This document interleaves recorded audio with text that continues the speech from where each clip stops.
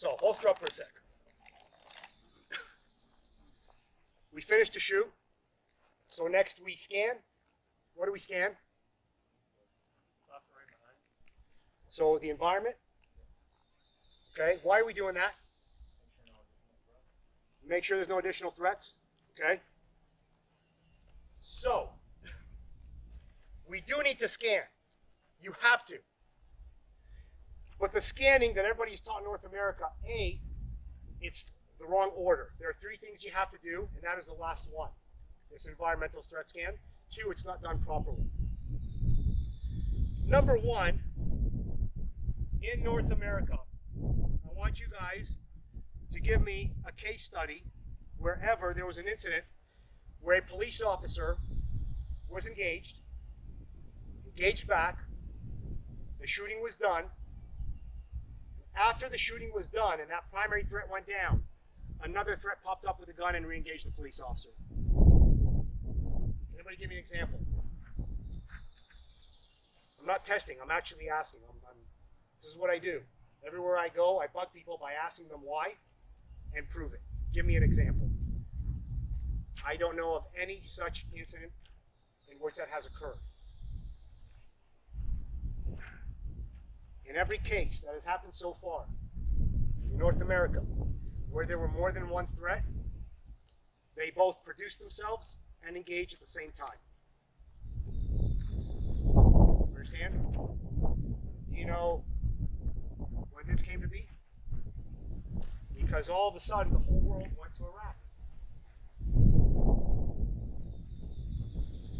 In Iraq, Afghanistan, just like in Gaza, Lebanon, do we have to worry about many threats in one environment? Mike? Yes, because we're in the we're in the ant farm. We're in their territory. We crashed their party. They're all over the place. Setting up ambushes, waiting for us every step we take. There's many of them around. In North America, that doesn't exist. However, let me tell you what does happen in North America. What has gone police officers killed in North America in engagements? Is that police officers will be in an engagement. The weapon is empty or the weapon is jammed. They stop to shoot because they figure the threat is down because the threat went down or repositioned. The Threat resurfaced and the officers are now engaging the threat like this. Are they shooting at the threat? No, they think they are. Is the threat shooting at them? Yes. And they're doing this. Why? With an empty gun or a malfunctioned gun. Why? Meaning what? How does that translate to them doing this? The, uh, Be- must have thought the threat was over, and then all of a sudden that just floods them again, so they go back to, Yeah, but, but why are they shooting with an empty gun? Yeah, real. Why didn't they realize? This gun, you know what the beauty about the semi-automatic pistol is? When there's a problem, it's going to tell you and it'll tell you what it is. Well, I'm sorry, it won't tell you, even better, it'll show you. My gun right now is what? Empty. How do you know? Because it's showing us. Have police officers doing this. So, yes, stress has very adverse effects on us. From either inability to see the gun and what has happened, or not being able to be connected with what we're doing because we're dominated by the stress. And they're squeezing the trigger, not even feeling, realizing the gun is not firing. If the gun goes empty, it's going to show us loud and clear, simple Hebrew, complicated English. It'll show you that it's empty. If I have a double feed, everybody knows what a double feed is, right? Everybody knows what a double feed is? Okay, when I've got two rounds in the uh, in the chamber, or a combination of a round and uh, an empty casing, okay, I have this big obstruction. Can we visually identify that? Yes, it'll show us. It'll not shoot, and then if we look at it, we will see the double feed. If I have what we refer to as a jam one, a failure to feed or a failure to fire, this is where I squeeze the trigger and the gun doesn't shoot. does it show us? It doesn't show us because the slide is locked forward. We know that there's a jam one by virtue of the fact that we squeeze the trigger and nothing happens. What is the remedy for a jam one? Tap and rack. Is that simple? Yes. Is it fast? Yes. What is the most complicated of all the, the, the, the malfunctions that we can get, including an empty? What is the most complicated one to remedy? The double feed. The longer process, number one. Number two, requires us to also extract the magazine. And that reinsertion of a magazine of a small point into a small point under stress is very complicated. And the second most complicated, or I, not complicated, but longer to do, is remedying reload, remedying an empty. The irony is that the easiest malfunction, the jam one, failure to feed or failure to fire, the quickest one to remedy, doesn't give us a visual indication. But the most complicated ones that are either more complex to remedy or take longer, the double feed or the empty, they tell us loud and clear. You have all seen this, I promise you. If you've been in the business of shooting long enough, you have seen this. I've seen it more than enough times, I promise you that you have as well. Where you're on the range in training, and the instructor blows the whistle, the command of up, whatever, the officers go up and they shoot. And then they're done shooting. They come back and they're doing this. And they come to here, and the weapon is like this. And then the whistle goes again, up, and they come up to shoot, and they're, like, oh shit. And they have to remedy when they were given the command to shoot. Who here has seen that before on the range? Okay? That is the equivalent, all right, when the whistle goes, when you have to shoot and you realize that you have a malfunction, that is the equivalent on of slamming on your brakes after your car has left the cliff. You misused the brakes, you didn't understand the application, and or you applied them too late. You understand that?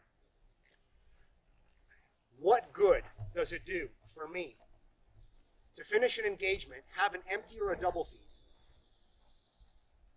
scan my environment, identify a secondary threat, only then to realize that my gun has a problem? That threat is shooting at me, and I now have to first realize I have a problem, let alone the following steps of remedying it to get back into the fight. Serves no purpose. I finish to engage, the threat is down, what is the first thing that I have to check? It's your weapon. This is your life saving tool. This, in North America, has killed more police officers than a police officer doing this and suddenly encountering a secondary threat. You understand that? Number one, we check our weapon. It's done two ways. I finish to engage. Immediately, if I've made the cognitive decision to stop shooting, that means that I know to check my weapon. And all I'm doing is just the weapon is retracting anyways. We never stand here. Weapon is coming back anyways. So as I'm retracting, I'm just slightly canting the weapon up so I can see the ejection port. That's all I need to see. My eyes just glance off of the ejection port as they continue on to the threat. As I'm coming in, a quick little secondary pause just to visually look at the disposition of the ejection port. If it's locked up like this, I assume everything is great. If the threat pops back up, and I have to re-engage and I pull the trigger and get that, what do I have to do? Tap rack, and I know this already. Out of the list of the three or four different things I might have to do, I don't have to worry about two to three of them. I know what I have to do. Have I saved time and gone back in the fight quicker? Yes. If as I retract and I do my ejection port, I see an empty ejection port, I know what I have to do. If I've decided it's time to stop shooting, that means that I have most likely the time to now quickly take a second or two to reload or remedy a malfunction. So that's number one. I finish to shoot, I quickly, as my weapon comes in, I'm just quickly glancing off the ejection port. That's it, a quick little glance. My weapon goes where at this point? So if I'm going to now do this, where does my weapon go to? what are you guys taught? So where? Here? Okay, down, inside. Okay. I don't really care where it goes. We're going to bring it in nice and tight. It should. Okay, if we're not shooting, we don't want to keep it exposed out there. There's instructors out there that will tell you wherever your eyes go, your weapons go. In Iraq, Afghanistan, Gaza, yes. Not in North America. I don't want to be doing this. All of a sudden realize there's a threat here, and now I have a much longer process to reorient. my weapon stays in center. So even if right now I'm scanning here, standing here, if I suddenly have a threat that pops up, I've got a short, even distance to go to, to either which way.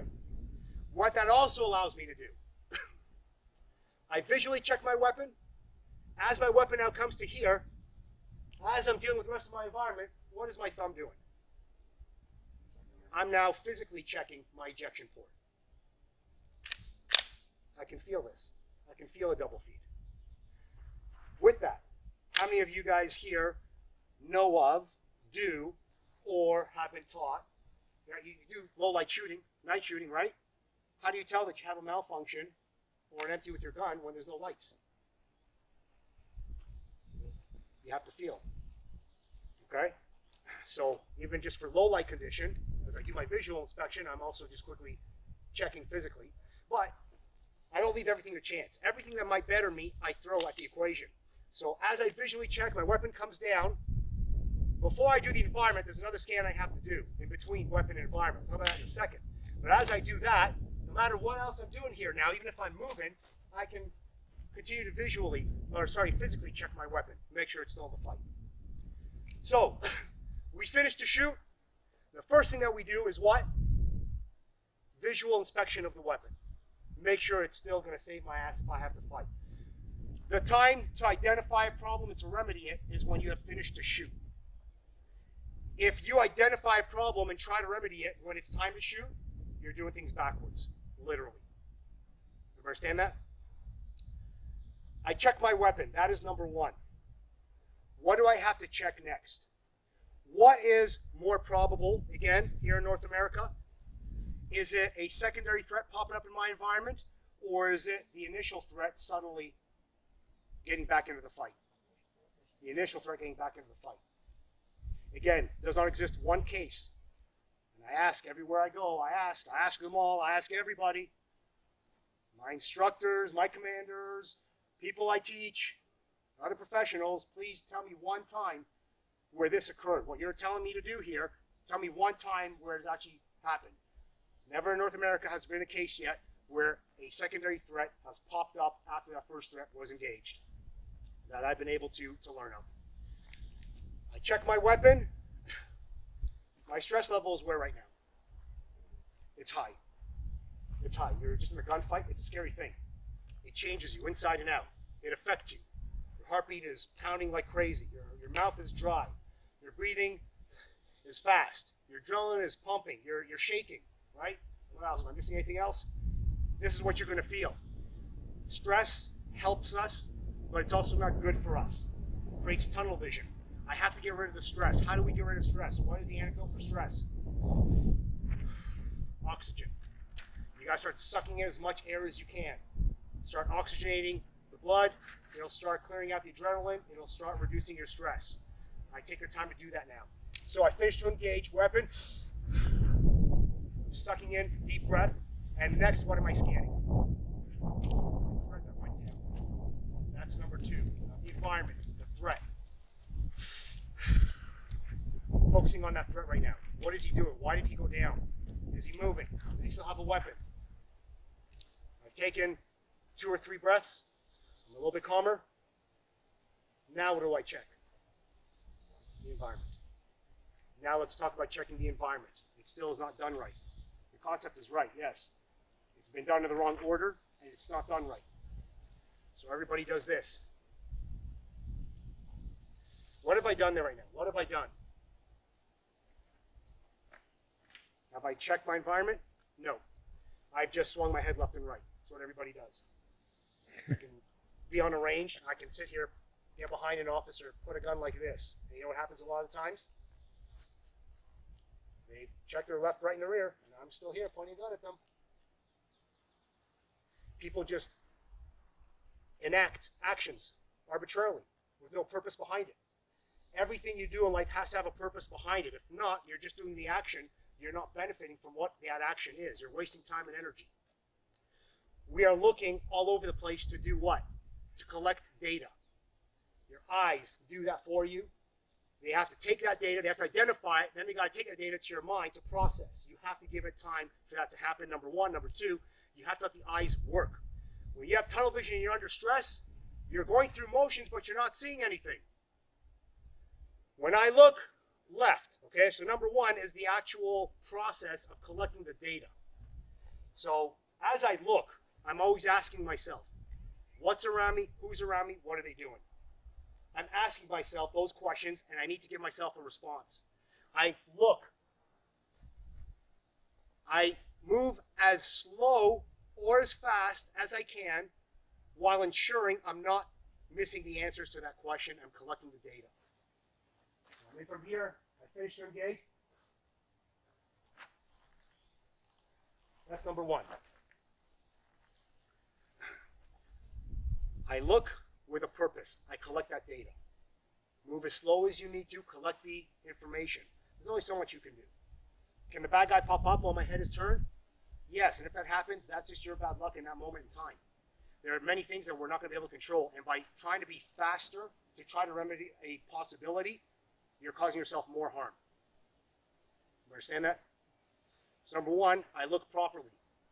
I'll talk about proper in a sec. I collect the data. Next, here's what happens. Maybe we've regulated our tunnel vision. Maybe we've opened it up a little bit. We still have an overflow of stress. It's going to happen. It takes a while for it to, to, to kind of simmer down. Everybody does this. I want you guys to try to see my eyes.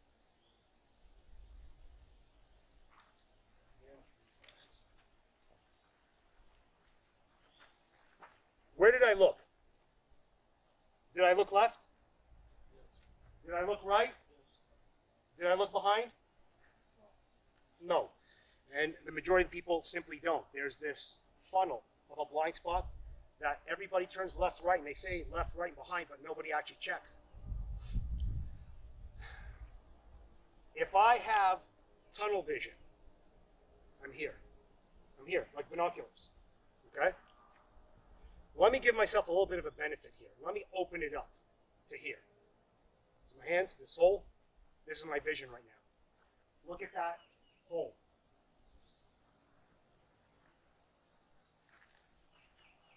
You guys see that? All this cone here doesn't actually get checked. So you can stand right here in the middle, hold the gun It's an officer in the range behind him, about 50% won't even react to you because they won't see you.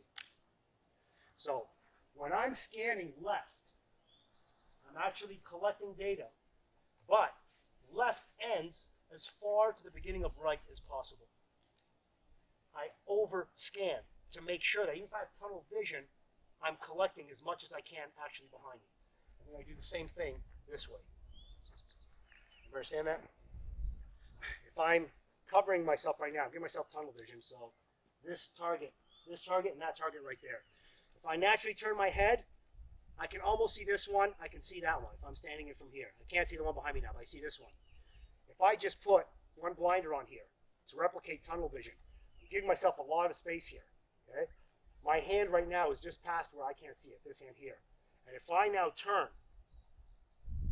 I'm not seeing that target. I need to be able to actually look behind me while obscuring my vision.